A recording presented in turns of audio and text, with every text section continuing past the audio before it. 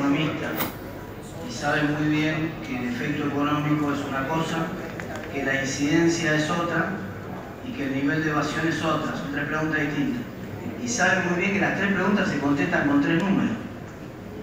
Y yo no he escuchado un solo número. O sea, es raro que ustedes vengan a solicitar la extensión de impuestos que son tan importantes para Argentina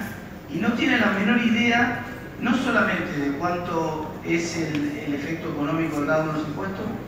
no saben cuál es la incidencia, no saben cuál, qué, qué deciles pagan, qué porcentaje de cada uno de los impuestos que piden que se prorroguen, y tampoco saben los niveles de evasión de cada uno de los impuestos.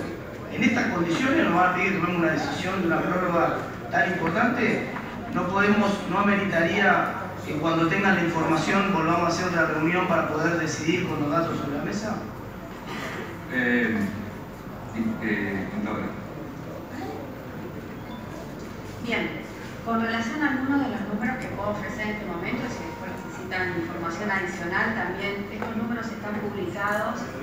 en la página web de la Dirección Nacional de Investigaciones y Análisis Fiscal, el director está presente en este momento,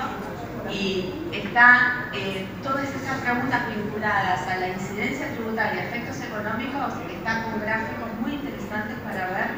que tienen en cuenta todo lo que es presión tributaria y además recaudación mes a mes algunas proyecciones. Así que voy a limitar a comentar algunos de los que tengo acá, pero para mayor información en esa página, la verdad que eh, está eh, eh,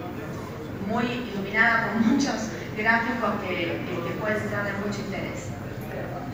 Sí, sí, claro. Es de la Dirección Nacional de Investigaciones y Análisis Fiscal dependiente de la Subsecretaría de Ingresos Públicos dentro de la Secretaría de Hacienda del Ministerio de Economía